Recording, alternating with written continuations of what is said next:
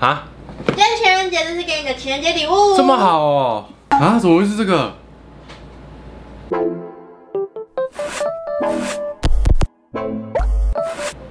？Hello，大家好，我是麋鹿 Dear Dear。七夕情人节快到了，大家想好去哪里过节了吗？除了要去哪里过节之外呢，情人节还有一个不得不面对的问题，你也可以说是难题啦，就是到底要送什么东西给另外一半才会加分，这真的不太好解决吼。其实不只是男生烦恼说要送女生什么，有时候女生也会烦恼要送给男生什么。今天这支影片的主题呢，就是来跟大家聊聊情人节送什么东西给男生才是男生觉得会加分的东西呢？其实我有一些很特别的经验呢，就是多年前我也是有收过一些收到的时候不知道该高兴还是该怎么样的 情人节礼物，就跟大家分享。有时候也不是觉得那些礼物不好啊，毕竟送礼物你知道就是一个心意，但是你知道吗？情人节如果真的可以送礼送到对方的心坎里的话，对感情是非常加分的，也会显得你这个人就是哇，真的。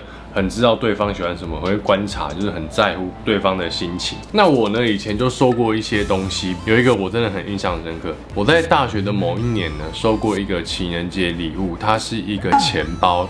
大家看到这里可能觉得说，哦，送男生钱包蛮正常的啊，是一个不错的选择。但是呢，跟大家说，我收到的钱包呢，是一个 Nike 的运动钱包，我记得它是蓝色的。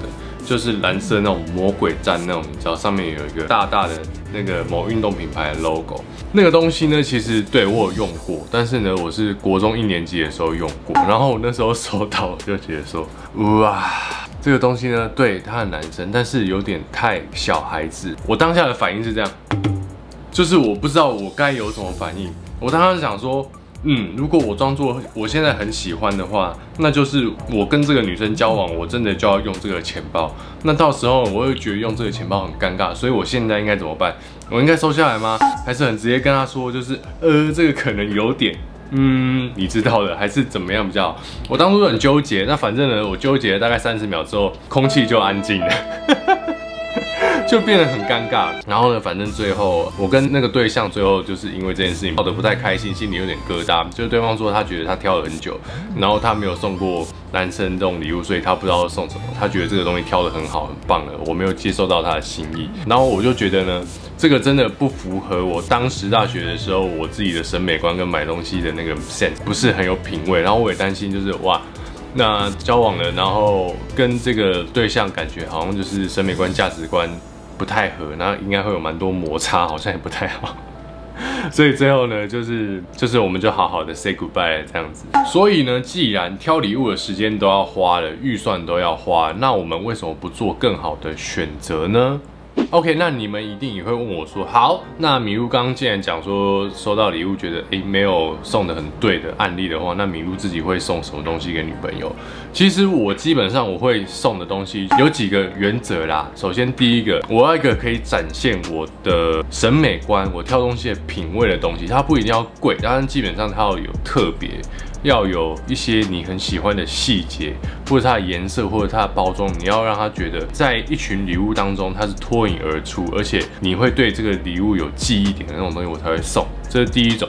第二种呢，就是它要是很贴身的东西，比方说什么呢？比方说链子，这种可以戴在身上的，或者手环这种东西呢，如果是你在那种小暧昧时期的话，或者交往初期的话，你看你送了，你就有可以有一个动作，比方说链子嘛，你就可以这样子把它戴起来。或手链，你就可以让它戴起来。我觉得呢，搭配一顿浪漫的晚餐或者烛光晚餐，然后再加上这种你知道很亲密的举动，其实是非常加分的。然后为什么我会挑亲密的东西呢？因为亲密的东西就是代表着你会跟对方的身体有接触嘛。第三种会送什么呢？就是会送有气味的东西。我觉得人对气味是非常的敏感，敏感的就是说，你看，呃，你会对香的东西有记忆，然后人的话，你就对对它的味道有记忆，它的香水有记忆，它的香气有记忆。所以我觉得呢，可以赋予对方一种香气，也是一种非常棒的选择。OK，综合以上三点就是脱颖而出的包装，然后还有什么？还有很贴身的东西，然后再来就是我喜欢有香气的东西，这些都是我挑礼物的原则。好，所以说送礼物真的非常的重要。既然预算都要花了，钱都要花了，那为什么我们不送一个真正我们觉得很棒的礼物给对方呢？也许今年如果你还没想到情人节要送给另一半什么，送给男朋友什么的话，那米露给你一个很棒。很不错的建议，那就是送脸部清洁啊，像是洗面乳啊，或者是保养组、脸部保养组啊，就是像保湿水、化妆水。为什么呢？因为这个东西永远都需要用，因为它是一个消耗品，它总是会用完的，所以没有人会选这个东西多，它收到了一定会拿出来用的。再来呢，其实男生夏天也很缺脸部用品哦，因为夏天很热嘛，然后男生就是常常会出油，然后呢基本上我觉得啊，男生也想用一些。不错的东西，好的清洁的用品或保湿保养的东西，但是自己很少会花时间去做这些功课，或者是也不知道去哪里获取这些资讯，所以也不知道是怎么买。最多呢，就是哎。呃，去康士美挑一下，或者是哎，去屈臣氏挑一下，就直接问店员说哦，最近有没有什么？然后我也有这种经验啊，去了，然后就被推荐一组，哎，其实自己也不太喜欢，但就觉得哦，应该也没什么差吧，就买了。我觉得男生大概是这种心态，就是买到了，自己也觉得说，嗯，好像还好，也没有很喜欢，但是下次呢，我也不知道怎么挑，我还是去做一样的事情。所以今天呢，米露就推荐大家一个。米露最近发现其实还蛮好用，然后包装很精美，味道也相当不错的男性保养组给大家。这个牌子呢叫做 Block Homies，它是一个来自日本的品牌。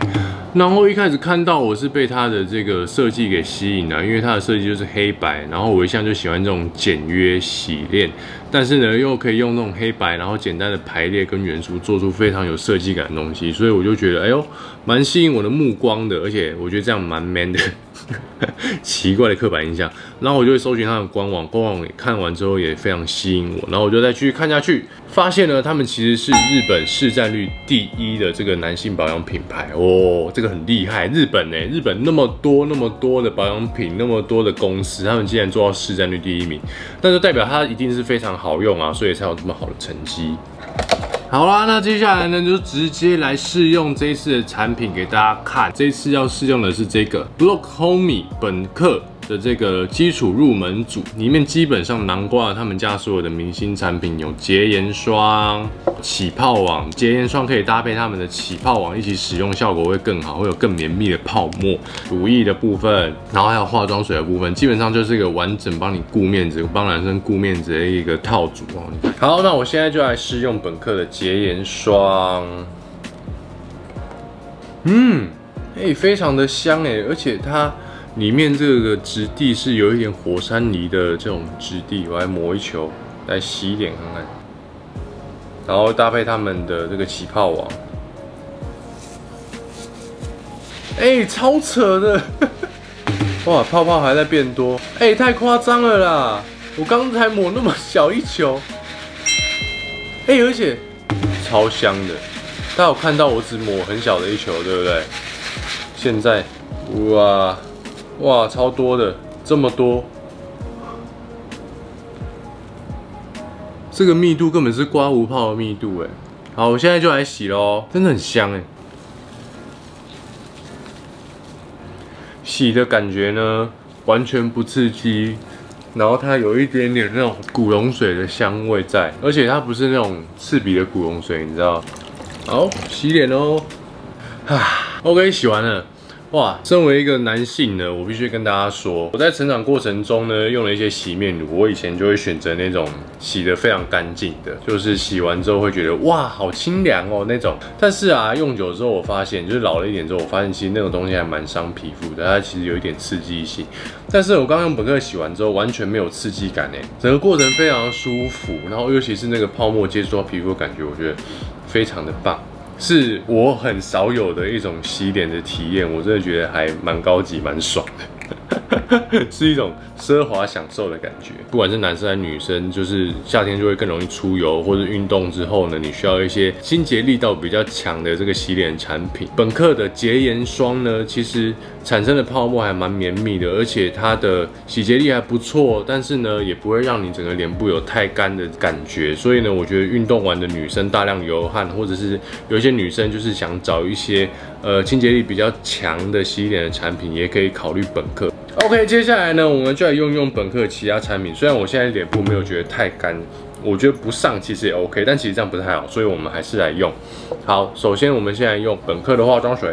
本克的全产品都含有苹果萃取精华、蚕丝蛋白、复活之木等等专柜级的成分。其实夏天常常容易出油啊，或者是长痘痘。诶，大家知道气温升高就会让你容易长痘痘，因为你油就会出的比较多。所以呢，夏天的保养更重要。这个化妆水闻起来的味道也非常棒，它就是有一点淡淡的香味。好，给大家看一下这个质地啊，它比较水状，毕竟是化妆水。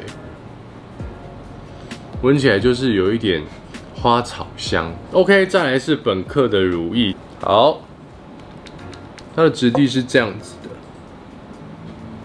香味就是淡雅，不会太浓稠。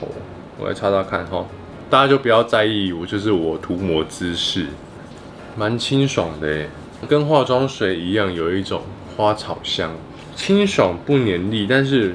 用了就觉得它的保湿力其实蛮够的，蛮滋润皮肤的。再跟大家强调一次哦，其实很多男生就是都会有长痘痘啊，或是脸部一到夏天就容易红肿啊、过敏啊、泛红等等的困扰。那这有些呢，其实都是因为没有做好保养，就是脸部清洁啊，还有洗完脸、洗完澡之后，就是用基础的保养，就是化妆水或者乳液。那其实保养做的不好。不够多，就是会让皮肤容易有过敏的发生，或者有红肿的发生，或容易长痘痘。这也是我在高中、大学之后才慢慢开始知道这件事情。所以推荐有一些可能还没有保养习惯的男生，就是这个夏天，你可以开始尝试一些基础的保养了，而且用好一点的化妆品，让自己更有面子。但是呢，如果男生真的不会做，男生很懒，或是你的男朋友就是讲不听的话，那各位女朋友们。这时候就是你们该出手的时候了。男朋友变得更帅，跟你一起出去，当然更有面子啊，对不对？嗯，我就是觉得这个乳液蛮香的。我们请阿元过来闻闻看，看他喜不喜欢这个味道。来来来，打了一个字。他们说这个产品的乳液是有味道，它是有一点淡香的，你闻闻看看有没有？有吗？有哎。什么味道？胖胖的味道。我在闻。喜欢吗？我知道了。嗯，高级香氛味。嗯。对不对？你不觉得它的味道就是不会太刺激，就是这样淡淡、清雅、清雅的，就会觉得哎呦，就是淡的。